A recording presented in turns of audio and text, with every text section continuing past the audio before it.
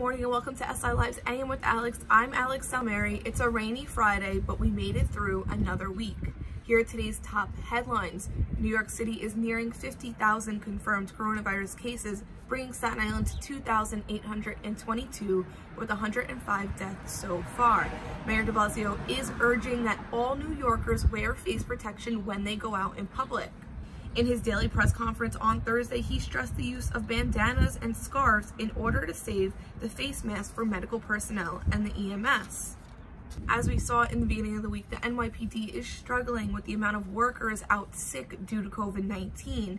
Now, other city agencies such as the FDNY, Con Edison, and the Department of Transportation are struggling with the same issues. With an overload of 911 calls, EMS workers are to stop taking patients in cardiac arrest to hospitals if resuscitation on the scene isn't successful. And on the bright side, here is the story of a nurse who traveled three hours to help with the rapid spread of COVID-19.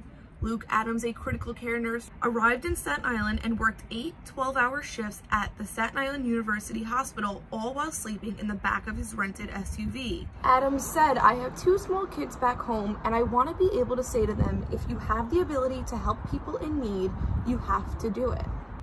If any of you guys are looking to help, we do have ways to make donations and more about volunteer opportunities available on our website. Visit silive.com to learn more about all of these stories. Feel free to reach out to me if you have any questions. Have a great weekend. Stay home, stay safe, and stay tuned for more updates.